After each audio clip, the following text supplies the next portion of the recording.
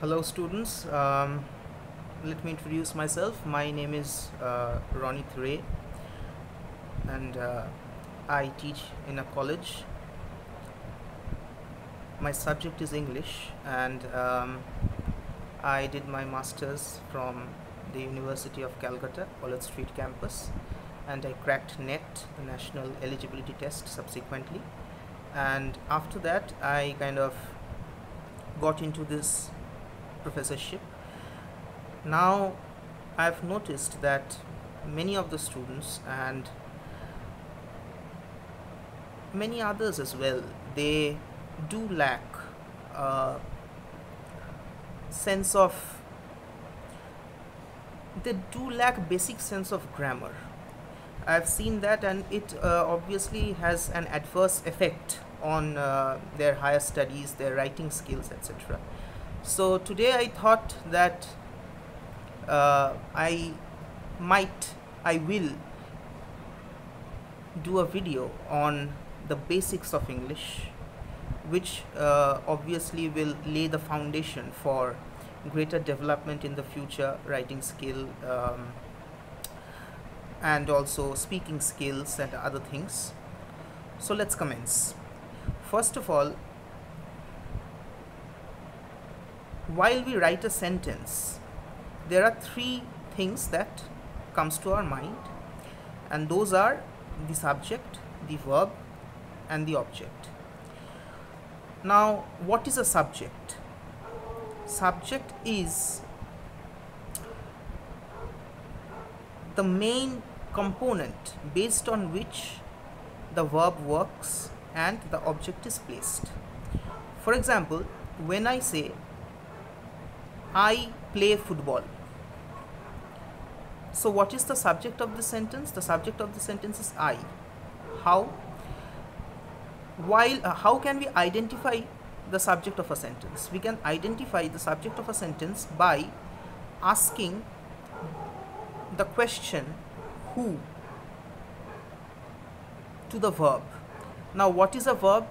Verb is obviously an action verb is obviously an action word and something which denotes doing something or being something. We will come to the intricacies of verb later on but first in a very rudimentary understanding let us think and let us presume that verb is an action word. So when i say i play football here what is the action word? The action word is play.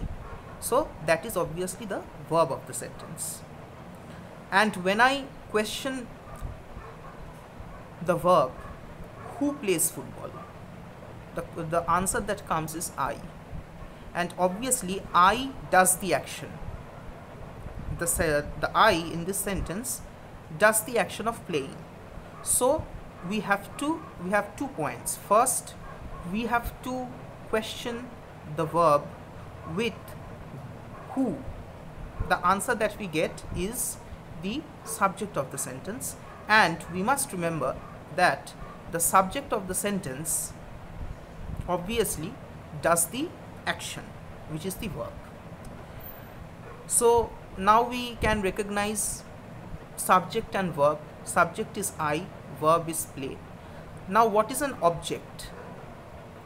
Object is something which basically tells you more about the sentence. In a sense that when you you identify the object of the sentence by questioning the verb with what and whom. Now if in this question in, in, in this sentence if you ask the verb a question with what what do i play the answer that comes is the the noun football. So football is basically the object of the sentence.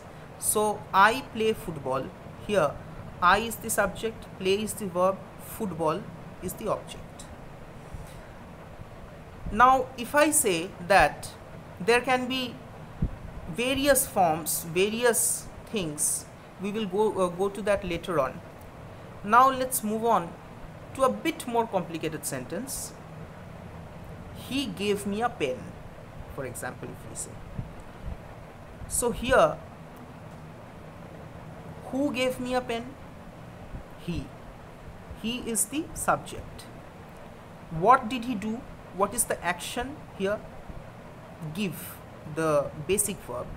And obviously the past tense of the verb is gave so gave is here gave here is the verb of the sentence. And it tells more about the sentence what did what did he give? A pen. That is the first object. And also if i question whom did he give he give a pen? The answer is me. So me and pen both are the objects of the sentence. So that is uh, that, that is basically a sentence comprising two objects. Now let's move on to another very basic thing which is person.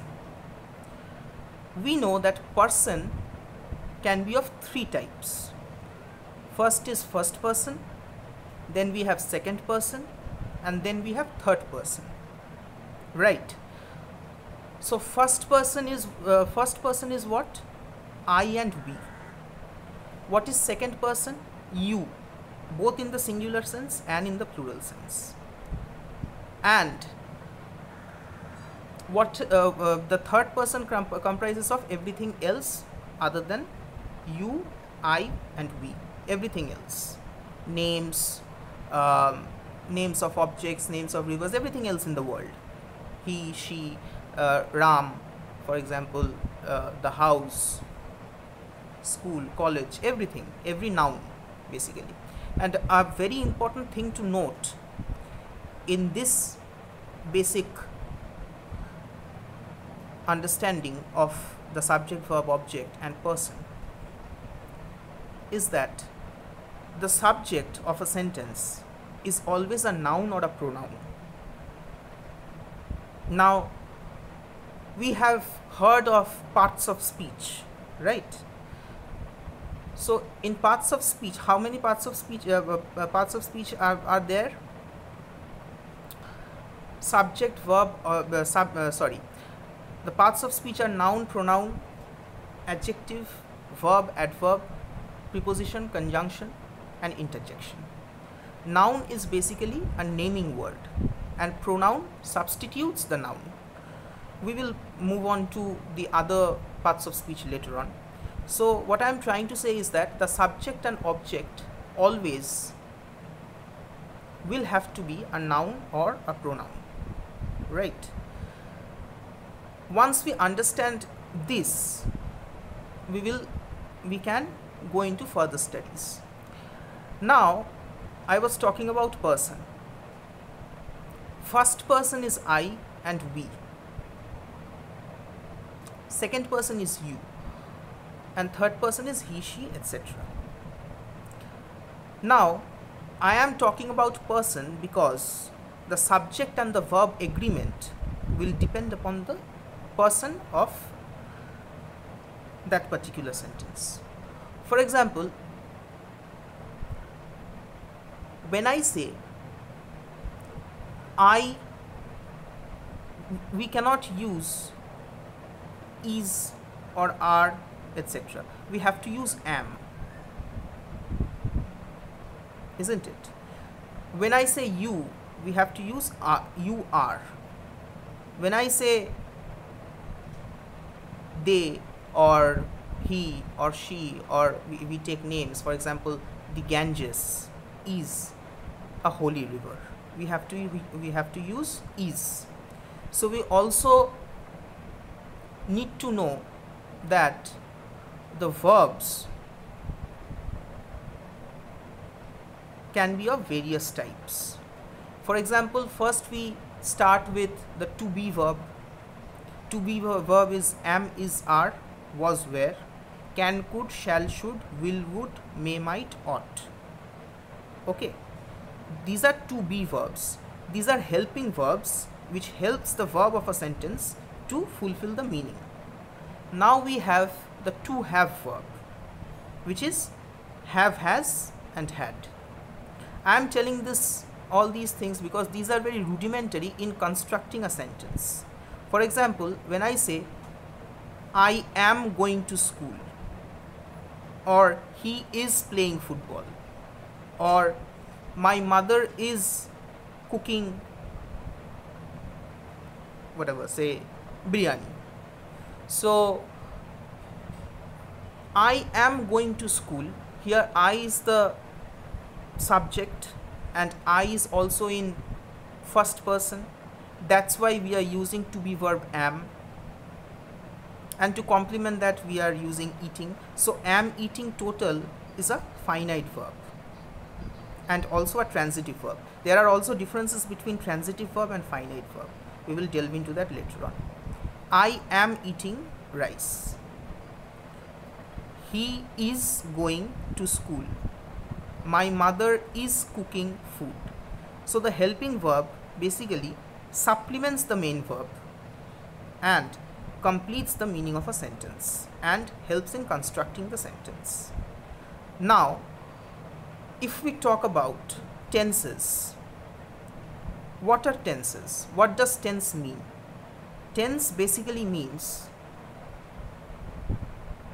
the time of a verb. How many tenses are there? There can be three types of tenses. First is the present tense which denotes the present time then we have the past tense which denotes the the past time which is already gone and the future which will come right? So now each tense has four types of four subtypes basically. What are they? First is indefinite second is continuous third is perfect fourth is perfect continuous. What is how uh, uh, uh, how how do we define a present indefinite tense? Present indefinite tense basically denotes an action which is done on a regular basis. And also it denotes a habit. For example if i say i eat rice that is the present indefinite or simple present tense because it denotes a habit something which you do regularly. Then we have how how do we construct uh, present indefinite tense? Present indefinite tense we use the subject. Then we use the verb eat i eat and then we use the object rice then we have present continuous tense. What is a present continuous tense? Present continuous tense basically denotes anything that is going on right now, not a habit. That's the basic difference between the indefinite, uh, the indefinite of the simple uh, form and the continuous form, which is ongoing right now. For example, I am eating rice, which means that it denotes a time which is ongoing right now. Okay, the process so how, how do we construct that? We use the subject obviously and then we use a to be verb am. Then main verb eat plus ing am eating. I am eating rice. Then we have the perfect form present perfect. Present perfect denotes a kind of a time which started in the past but just finished in the present time which means we are denoting a past time by using a present uh, a present tense for example i have eaten rice which means that in in the past i was eating rice or i uh, i ate rice i started eating rice in the past and it just finished right now in the present time we are basically denoting a past action through present tense. How do we how do we construct that? The subject, then to have auxiliary. I have, then main verb the third form or the past participle form of the main verb. I have eaten. Have is the auxiliary. Eat ate eaten. Third form rice object. Present perfect continuous for example if you do a certain action for a certain period of time and when the whole period of time you want to denote the whole process you want to you want to basically uh, speak about the whole span of time. You want to catch that whole span of time. Then you use the present perfect continuous tense.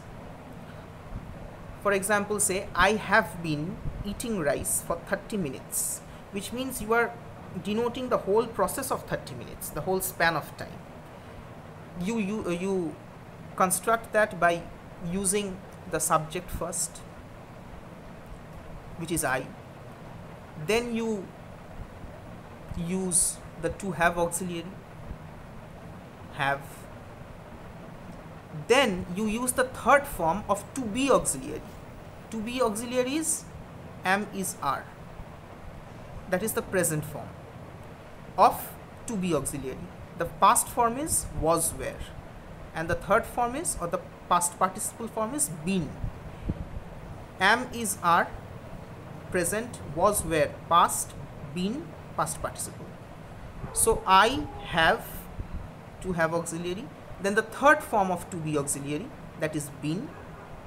I have been. And then the the main verb which is eat plus ing.